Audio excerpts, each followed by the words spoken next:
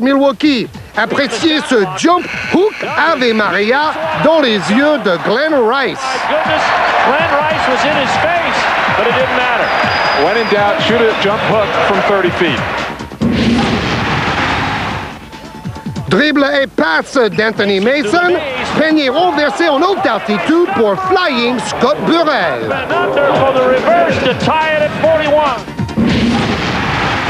Mark Price est toujours là, il joue à Golden State. Voici son spécial. Jonglage, récupération, feinte, peignée impossible avec la faute, s'il vous plaît. For. Voici le Slam Jam Thank You Ma'am de la semaine.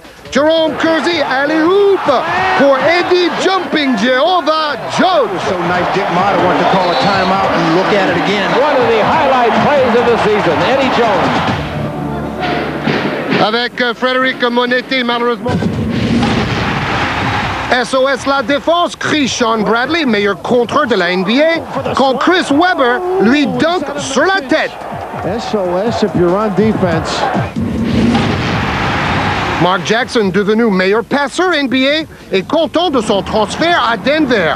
Il est devenu un sacré bombardier aussi. Oh, come on! Come on, Mark Jackson, you have to be kidding me. Stacy Plastic Man Ogman, avec ses gestes de contorsionniste, donne ce caviar aérien à Monsieur 7 millions de dollars la saison, Otis Thorpe.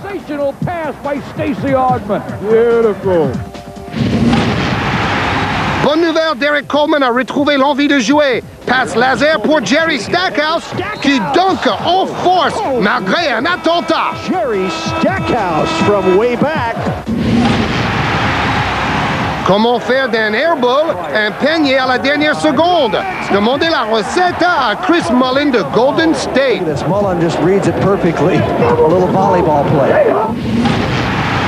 Mullin est moins heureux ici quand Sean Kemp se bat tel un rugbyman pour arracher cette patate chaude. Quelle volonté! What a play by Kemp. And Seattle has the lead. Monsieur Miracle, Tim Hardaway the Miami Heat. From mid Bonko Baby de la ligne médiane at the buzzer. He's better with the clock running out than Tim Hardaway. Rebond du Pachyderme de Dallas, Oliver Miller, puis contre-attaque et dunk de Gatling qui fusille Antonio Davis. Get back, Antonio dit Chris. Damon Stoudemire ne fait qu'un mètre 70, mais il n'a pas peur d'aller se frotter au grand grâce à ce moonball, tir lunatique avec trajectoire lunaire. Bob Sura de Cleveland dribble toute la défense de Détroit pour planter un in-your-face smasheroo digne de Laurent Flying Forest. À côté de Brian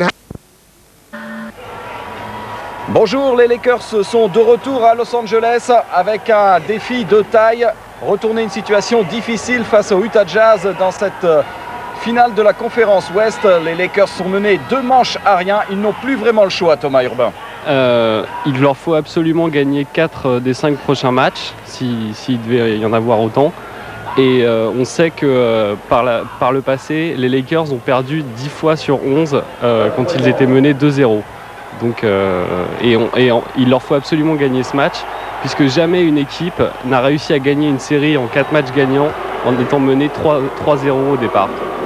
Donc, énorme pression sur l'équipe de Delaris au grand complet. Vous avez vu euh, les statistiques très faibles de Nick Van Exel et Kobe Bryant au niveau du tir.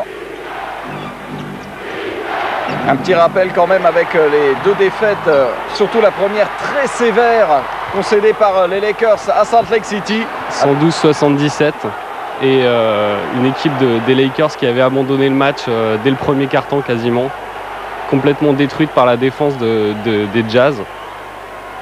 La défense, c'est ce qui sera la clé euh, visiblement de la série et c'est ce que Del Harris, l'entraîneur des Lakers, a affirmé pendant, pendant tout le, le début de la série. Avec le rebond offensif, la claquette de Robert Horry et Eddie Jones. Eddie Jones qui avait été extraordinaire euh, face aux Supersonics et qui pour l'instant dans cette série est assez discret. Et pas malheureux non plus euh, Greg Foster. qui égalise pour les Jazz dans ce premier carton. Greg Foster, c'est l'homme en forme euh, du Jazz en ce moment. Et il, a, il a conquis sa place de starter en début de saison. Et là, il est devenu le starter indiscutable. Un beau mouvement de Shaquille O'Neal, il avait été dominé largement dans la première manche.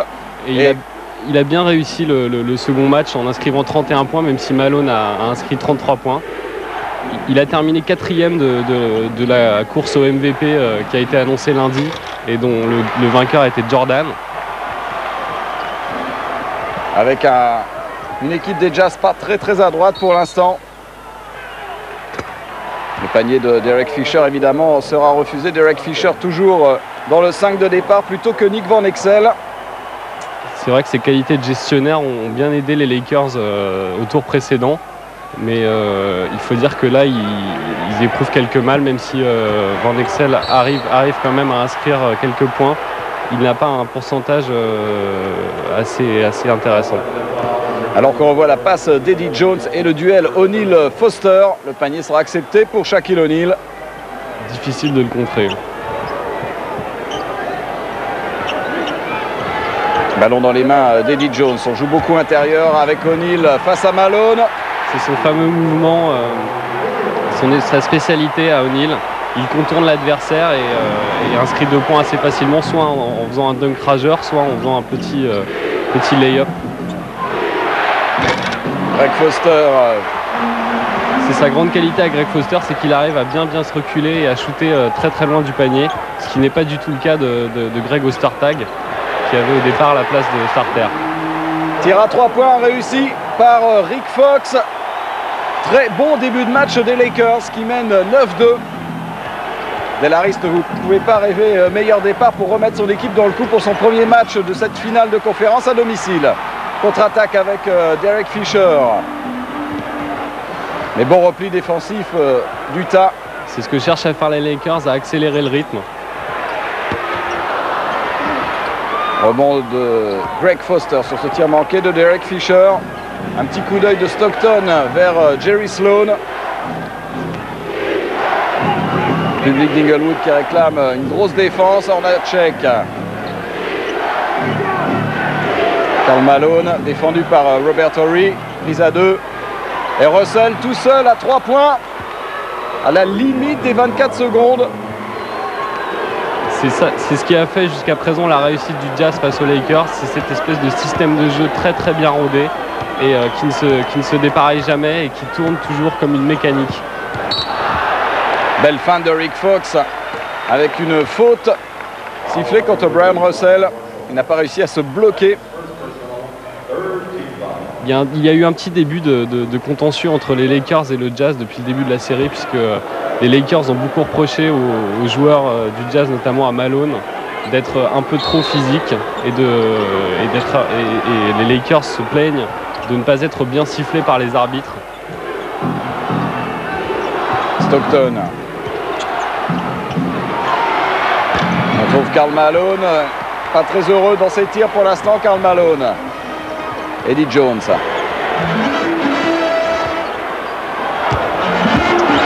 Robert. Ouais, belle passe de Horry. Un contre de Greg Foster sur Robert Horry.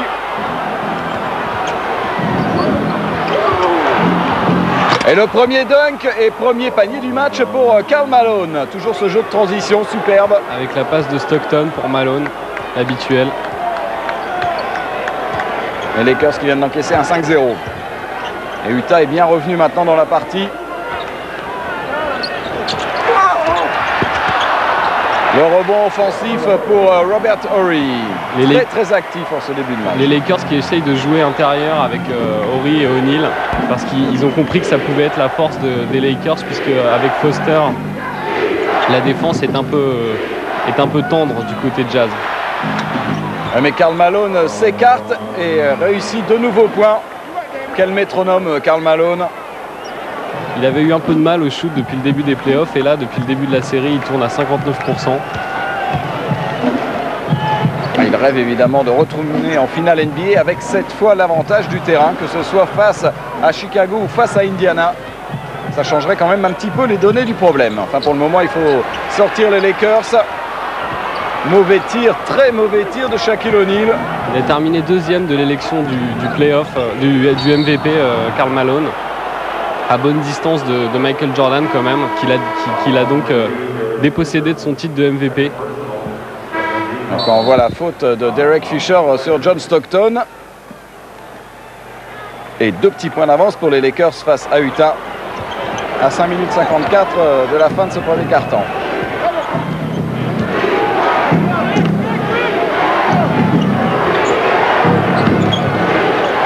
Jeff Hornacek avec un profite un bon écran de Howard Esley qui a remplacé John Stockton.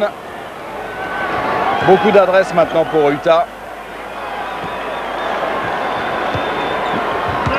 Avec Fox, euh, toujours intérieur, il faut aider euh, face à Shaquille O'Neal. Rebond offensif. Et Greg Foster, voilà, c'est l'une de ses forces. C'est un pivot qui court vite et qui peut s'écarter. Il prend tout son temps pour dégainer. Un peu trop de temps peut-être. Il s'est découvert des qualités de chambreur euh, face aux Lakers, puisque dans le, dans le, le match, euh, le premier match, il avait, il avait chambré tout seul le banc des Lakers de manière un peu insolente, et euh, depuis, euh, les Lakers euh, en ont après lui. Avec ce tir à trois points réussi par euh, Nick Van Exel qui fait très très mal. Leslie. Belle passe pour euh, Karl Malone. Il y a quand même des positions très très confortables pour les tireurs extérieurs pour Utah. Là c'était encore une fois Brown Russell. Deuxième panier à trois points réussi pour Russell. Les Lakers essayent de défendre intérieur, mais euh, le problème c'est qu'ils ne sortent pas sur les shooters. Faute de Hornacek sur euh, Nick Van Exel. Alors qu'on revoit euh, la dernière action, Karl Malone a vu Brian Russell, personne sur lui. Et encore une fois, une action à la limite des 24 secondes. Brian Russell, il, avait perdu son, son poste de starter au profit d'Adam Keefe et il l'a récupéré euh, depuis le début des playoffs. Et, euh, et- étrangement, comme euh, des joueurs, il y, a- y y beaucoup de joueurs au, au sein du Jazz qui ont pris une nouvelle dimension depuis le début des playoffs, comme Howard Isley ou, ou Chris Morris. Ostertag a remplacé Greg Foster. Et voilà les Lakers qui repassent devant avec euh, ce panier signé Kobe Bryant. Lui aussi doit se réveiller dans ses playoffs. C'est certainement le Lakers le plus décevant depuis le, le début des playoffs. Il avait manqué deux matchs face aux Sonics à cause d'une grippe et il est revenu euh, pour le, pour le dernier match. Et avec un dunk de Brian Russell, non seulement il tire à trois points, mais en plus on le sait, c'est un joueur explosif, des qualités physiques exceptionnelles pour Brian Russell. Nick Van Exel. Kobe Bryant qui ressort parfaitement. La position était pourtant excellente. Et gros rebond offensif d'Eldon Campbell et un dunk pour Eldon Campbell qui vient de remplacer Shaquille O'Neal. Elden Campbell qui fait des tout petits playoffs puisqu'il joue à peine 10 minutes par match. Malone. Il reste 16 secondes dans ce premier carton qui était dominé en début par euh, les Lakers et Utah maintenant est complètement dans le match. Esley. Ouais, belle passe pour Greg Ostertag. Festival de dunk dans cette fin de période. Isley, c'est vraiment la bonne surprise d'Utah euh, puisque c'est le, le- le premier joueur capable de vraiment suppléer efficacement John Stockton. Quelle bagarre. Un point d'avance pour Utah à la fin euh, du premier carton. Les Lakers euh, dans leur salle vont souffrir encore une fois. Pourtant ils dominent au rebond. Regardez 15 à 8. Rick Fox à 3 points. Super niveau de jeu maintenant dans ce- cette finale de la conférence Ouest. L'adresse extérieure des Lakers, ce sera la clé du match puisque au niveau intérieur, O'Neal a dominé au match 2 et qu'il n'a pas pu compter sur ses extérieurs, donc il a, il a tendance un peu à forcer son jeu. Encore une passe décisive pour euh, Howard Esley. Jerison est reparti avec euh, le- à peu près le même 5 dans ce deuxième carton avec Ostertag et Esley sur le terrain.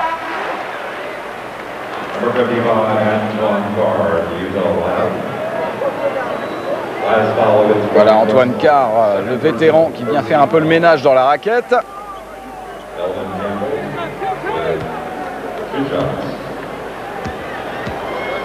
On revoit l'action euh, de Kobe Bryant et la faute de Brian Russell. Un point d'avance toujours pour les Lakers. Les Lakers ont du mal à trouver la, la- la fluidité qui fait le, le succès de leur jeu avec cette défense euh, omniprésente de Utah. Écran d'Antoine Carr pour libérer euh, complètement Esley. Très très concentré. Et c'est lui qui va défendre sur euh, Nick Van Exel. Allez, boum Belle passe de Van Exel pour Shaquille O'Neal.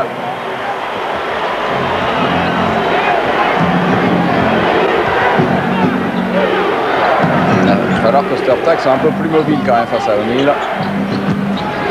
Antoine Carr et une faute de Kobe Bryant sur Antoine Carr.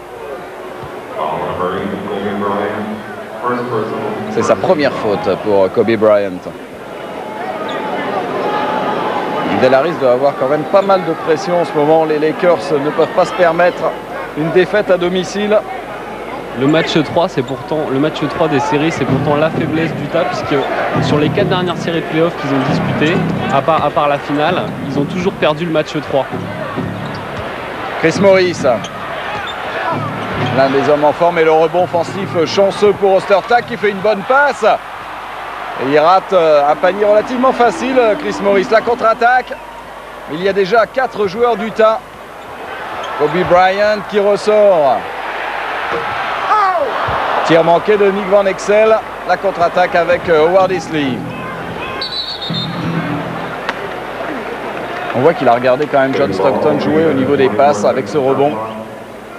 C'est un joueur sobre, peut-être un, un peu plus shooter extérieur que, que Stockton, qui a tendance à beaucoup jouer la pénétration. On se demande comment Chris Morris a pu rater ce, ce panier relativement facile. Vous voyez le pourcentage de réussite assez faible, même très faible pour les Lakers, 36% seulement pour l'instant. O'Neal qui s'en mêle un peu, ballon perdu. Et cette fois, Chris Morris ne rate pas son double pas.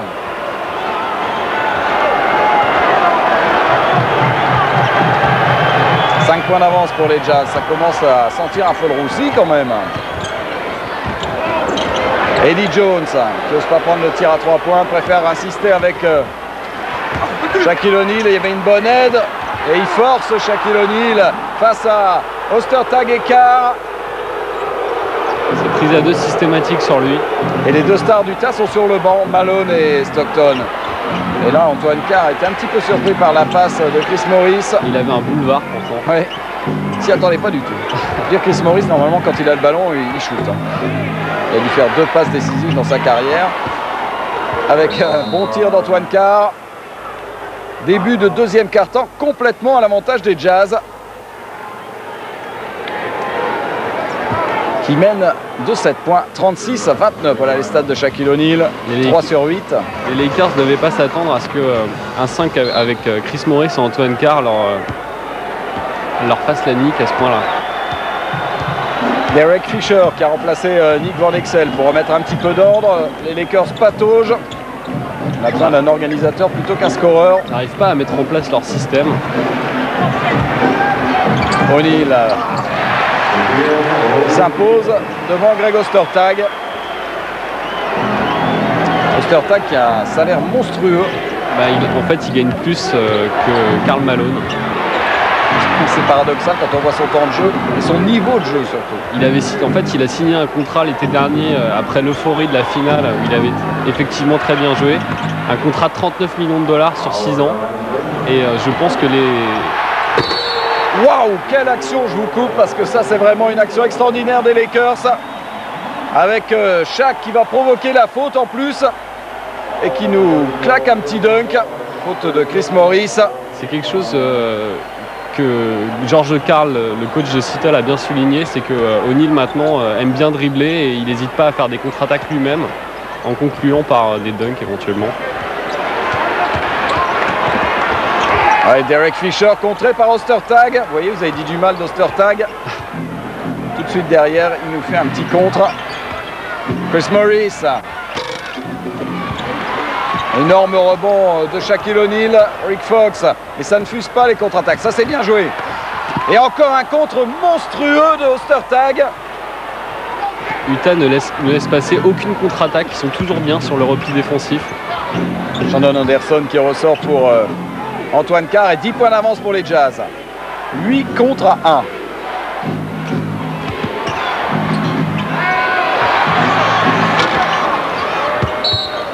Et une brique de Shandon Anderson. O'Neill n'a pas l'air très très euh, appliqué en défense puisqu'il a, il a, il a quand même réalisé 8 blocs lors du dernier match contre Seattle et euh, il en est déjà à 10 blocs sur l'ensemble sur de la série face au, face au Jazz. Jack Nicholson devient un petit peu plus nerveux.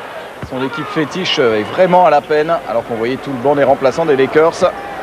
Il reste 18 secondes à jouer dans ce deuxième quart-temps. 49-42. 7 points d'avance toujours pour les Jazz. Derek Fisher. Kobe Bryant.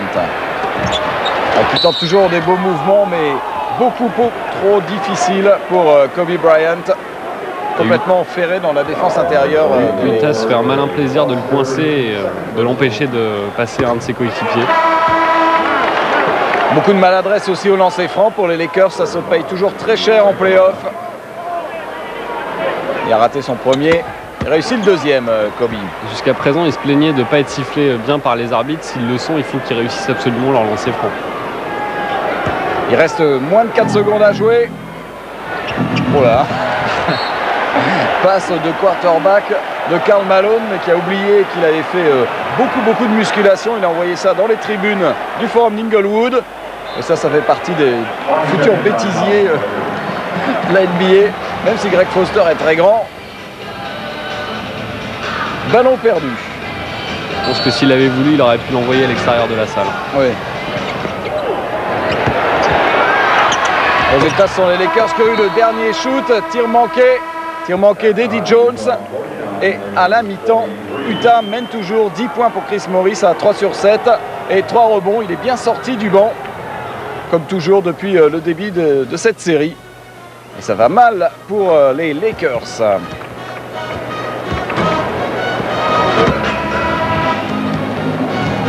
Regardez la comparaison statistique des remplaçants au niveau de d'Utah. Anderson, Morris, Esley et Carr ont été très bons. ils le confirment encore sur ce match.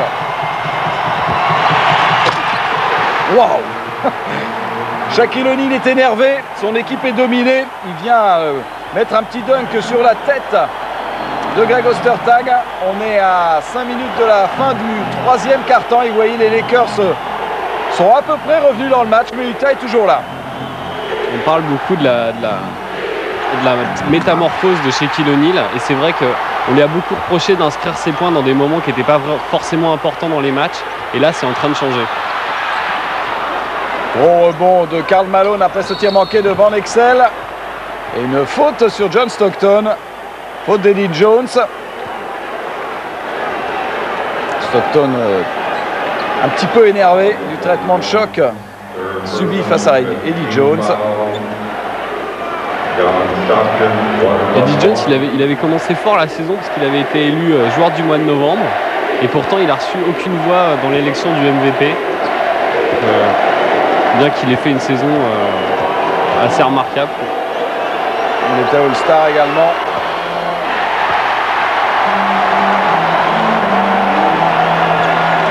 voit ce, dunk de mammouth de Shaquille O'Neal face à Ostertag. Le lancer franc réussi par John Stockton.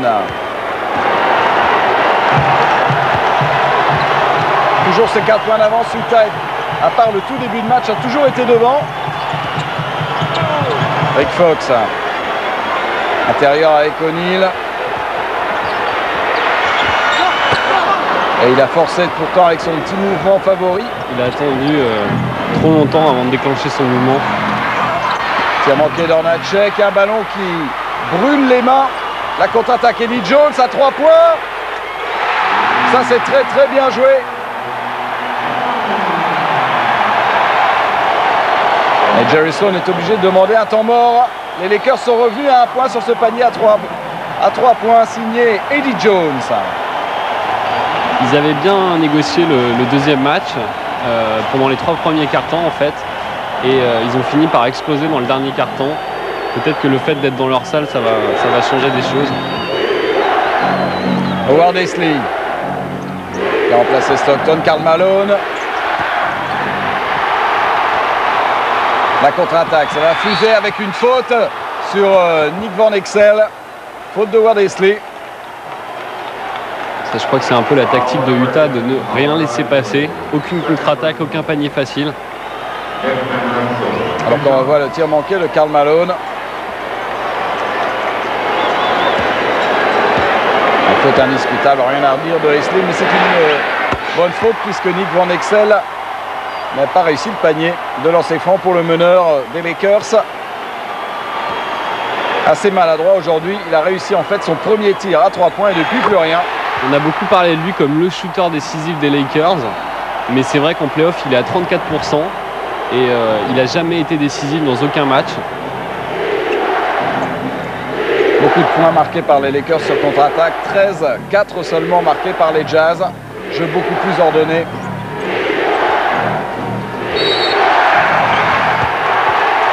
Avec une faute offensive sifflée contre Karl Malone. Ça va pas vraiment être du goût de, de Malone. Mais on voit qu'on est à Los Angeles aussi. Le Delta Center, ça aurait peut-être pas été sifflé, ça. On parlait tout à l'heure du, du salaire de Karl Malone et c'est vrai que cette semaine il s'en est plaint et il a annoncé qu'il allait peut-être changer de club. On parle de lui à, à Portland ou à Seattle, euh, qui sont pas forcément des villes très attractives, mais il a, dit qu'il voulait absolument y aller parce qu'il aimait la pluie. Greg Ostertag, lui, est allé placer pendant ce temps-là un petit dunk. Preuve que les Jazz peuvent être spectaculaires. Beau mouvement là de Shaquille O'Neal. Il est passé de l'autre côté face à Ostertag. Tout à l'heure, il avait raté en passant euh, côté droit.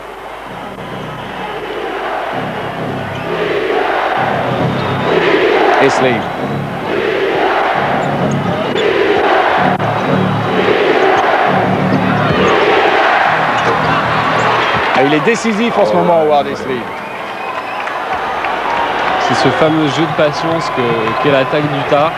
Ils prennent leur temps et ils attendent qu'il y ait un shoot ouvert qui se, qui se présente. Bonne défense de Chris Morris euh, sur Rick Fox.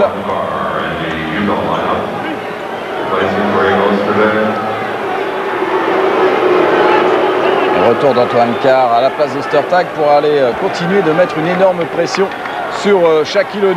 Il y a une grosse rotation des pivots en fait. C'est ce qu'a bien dit euh, Jerry Sloan, c'est qu'ils n'avaient peut-être pas les moyens physiques de stopper O'Neal, mais en tout cas ils avaient au moins 18 fautes à, dépen- à dépenser sur lui et qu'ils allaient bien s'y employer.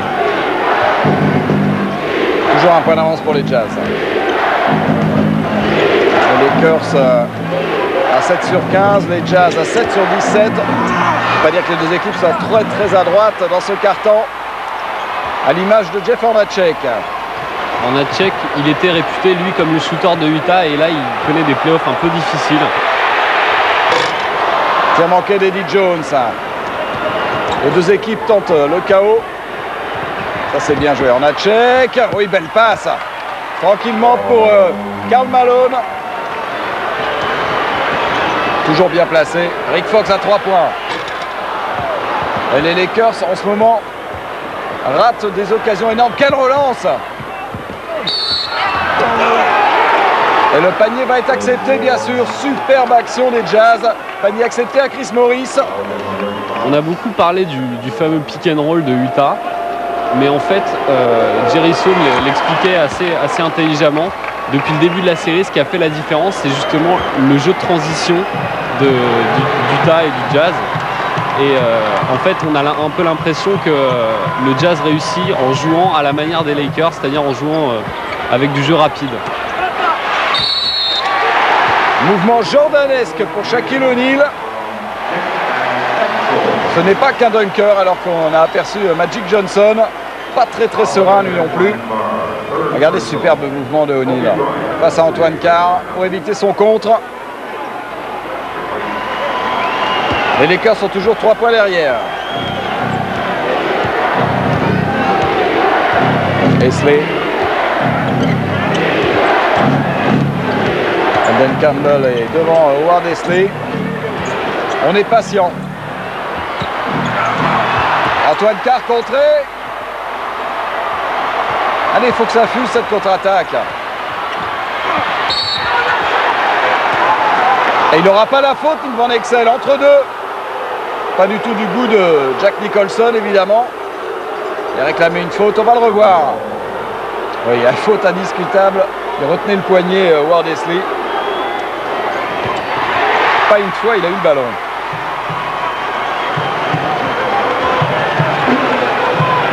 Kobe Bryant. Faute de Chris Morris sur Kobe Bryant. Toujours discret quand même. hein. Les Lakers provoquent pas mal de fautes, mais euh, les lancers francs, c'est vraiment un problème. Encore vous voyez euh, le contre de Kobe Bryant sur Antoine Carr. Il doit être assez frustré quand même Kobe Bryant dans, dans ses playoffs. Lui qui a réussi quand même une, une énorme saison pour sa deuxième année euh, en NBA. À L'an passé, paradoxalement, Del Ares lui avait laissé un peu carte blanche euh, pendant les playoffs. Il lui avait donné des ballons en fin de match, euh, des ballons un peu brûlants. Et cette fois-ci, c'est, euh, il, joue, très peu, il sort du banc. Et c'est plutôt un joueur d'appoint qu'un joueur vraiment décisif. Le contre a été refusé, le panier a été accepté bien sûr. 21 secondes.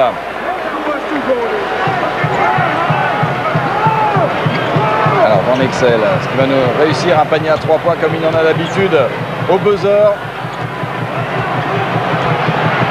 6 secondes pour le tir. En tout cas, il, le cherche ce tir à 3 points. C'est le moins qu'on puisse dire. Et il fait pratiquement un airball. Pas très très bien joué euh, sur cette euh, ultime action. Et les Lakers sont toujours menés malgré les 27 points et les 9 rebonds de Shaquille O'Neal, avec un pourcentage euh, un petit peu supérieur à 50%. Karl Malone, lui, est un peu plus discret qu'à l'accoutumée. 16 points.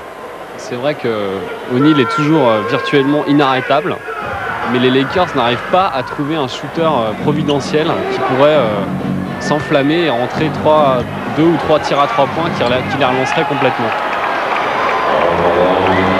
Karl Malone qui redonne 7 points d'avance. Il reste un petit peu plus de 10 minutes dans le quatrième quart-temps. Panier accepté à Kobe Bryant.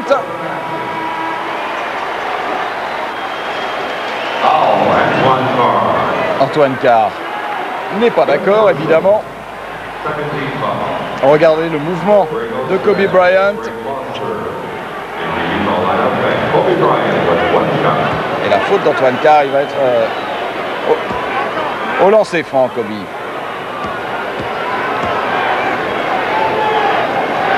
Alors n'oubliez pas dans l'autre euh, conférence, la conférence Est, Chicago euh, joue cette nuit à Indiana. Chicago pour l'instant mène deux manches à rien. Et ça sera un match très très difficile au Market Square Arena. C'est une euh, série très défensive avec les Pacers. Les Bulls qui ont pas mal de problèmes en attaque et qui s'appuient beaucoup sur leur défense en ce moment. Bon, Jordan est quand même euh, égal à lui-même. Il a encore mis 41 points lors euh, du deuxième match. C'est vrai que Jordan est très fort, mais le reste de l'équipe a pas mal de problèmes, hein, notamment au niveau de l'adresse.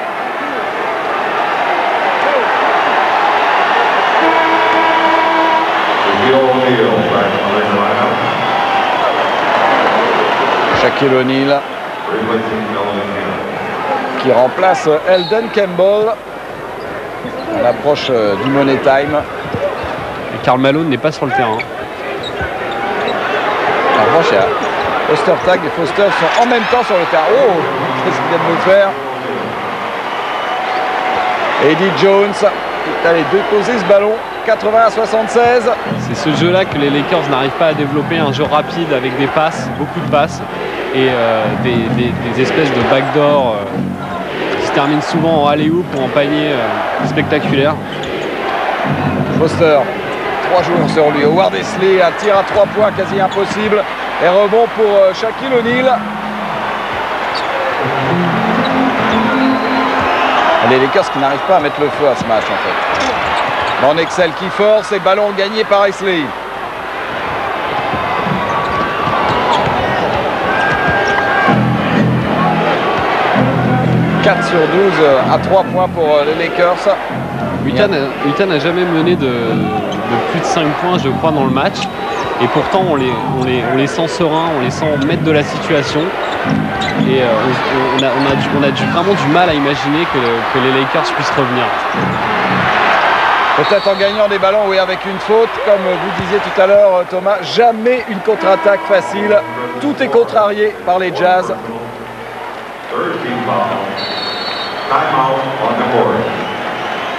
Et on revoit ce panier euh, étonnant d'Eddie Jones sur la passe de Shaquille O'Neal. On a beaucoup reproché à Eddie Jones par le passé d'être un joueur un peu euh, lymphatique en playoff, qui ne prenait pas ses responsabilités. Et c'est vrai que la série euh, précédente face à Seattle a, a servi de révélateur pour lui. Bon là, il est encore un peu en demi-teinte. Petit bras roulé euh, de Shaquille O'Neal. Très efficace en attaque aujourd'hui O'Neal, mais ça ne suffit pas. Les tireurs extérieurs pour l'instant sont maladroits pour les Lakers. Ce qui explique la domination des Jazz. Peut-être la possibilité pour les Lakers de revenir euh, à égalité avec le Jazz. Kobe Bryant il va insister avec O'Neal. Tire un peu court de O'Neal, ça retombe dans les mains de Greg Ostertag. Il était pourtant pas très très loin du panier. Toujours euh, deux points d'avance pour Utah, mais ça devient de plus en plus chaud. Wow Extraordinaire.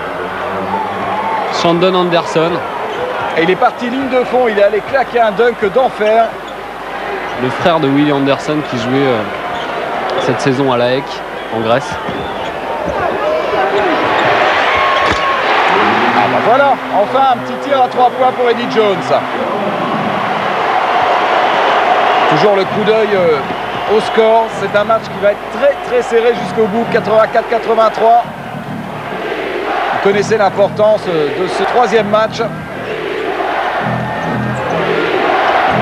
Malone avec encore euh, Shandon Anderson. Là, J'avoue que j'ai du mal à comprendre pourquoi euh, Del Rey s'obstine à vouloir laisser Robert Torrey en défense sur, sur Karl Malone. Parce que Robert Torrey est un très bon joueur, mais il n'a pas du tout la densité physique nécessaire pour défendre sur Malone.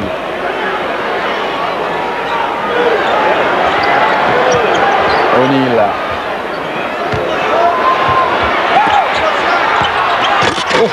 Il allait faire plier le panneau d'Inglewood après ce premier tir forcé. Il a pris le rebond offensif. Waouh. Et là, euh, Brian Russell s'est heurté à un camion. Stertag est allé euh, tout de suite calmer Brian Russell. Un petit peu de, de trash talking entre les deux joueurs. Il a vaguement essayé d'aller défier O'Neill, mais dès que, dès que O'Neill s'est retourné, il est tout de suite parti. Il s'est dit euh, là c'est un peu trop gros pour moi.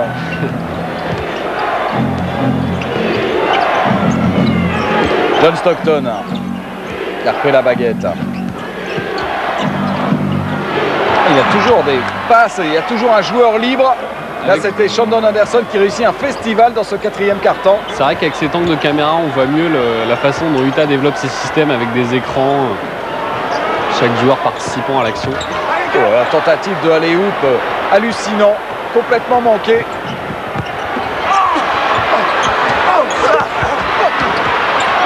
Rebond pour Karl Malone.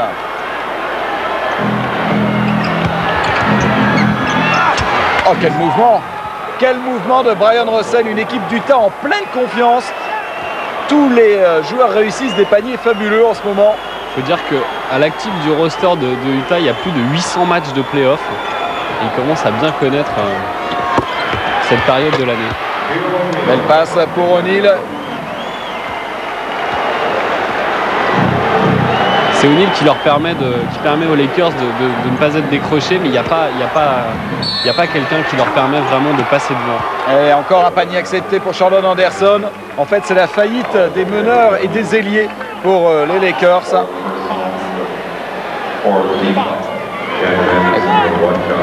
Passe laser, encore une fois. Et en se reculant à la manière un peu d'un Michael Jordan, Shandon Anderson, auteur d'un énorme quatrième carton.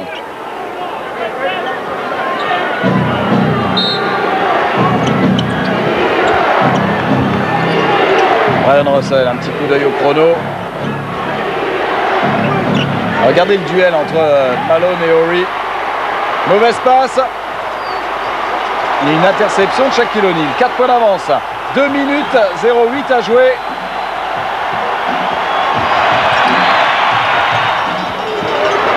Roberto Ri va prendre le tir à trois points. Et les Lakers qui n'arrivent pas à passer devant. La contre-attaque. Ah, Là, il y a Karl Malone qui nous a fait son, son fameux coup du genou en avant. Oui, il a envoyé voler son défenseur. La spécialité perforation de la poitrine. Tout ça en toute impunité. Brian Russell à trois points. Oh là là là là, que ça fait mal Que ça fait mal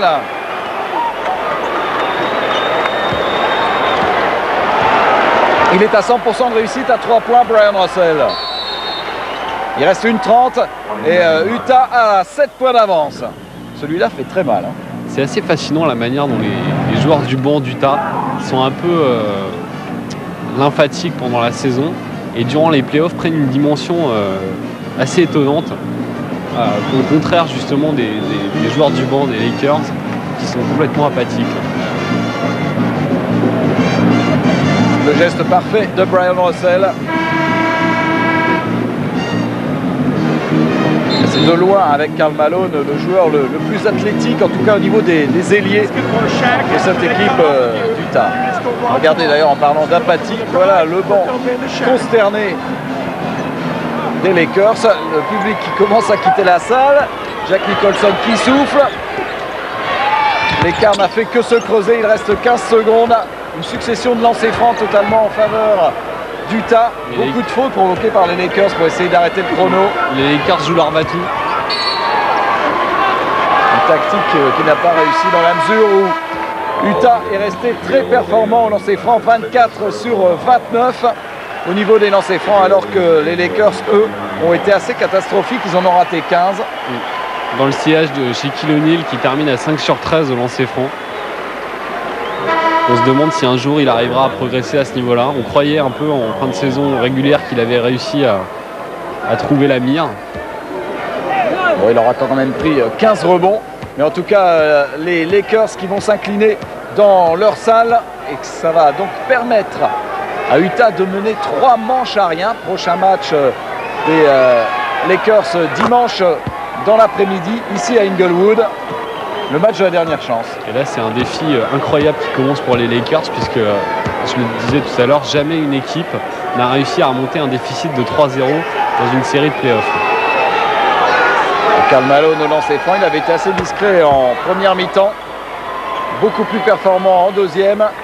O'Neal s'est dit, si je sors des matchs de mammouth et que ça ne sert à rien, je ne vois pas comment on va s'en sortir avec ce score de 109 à 98 en faveur d'Utah.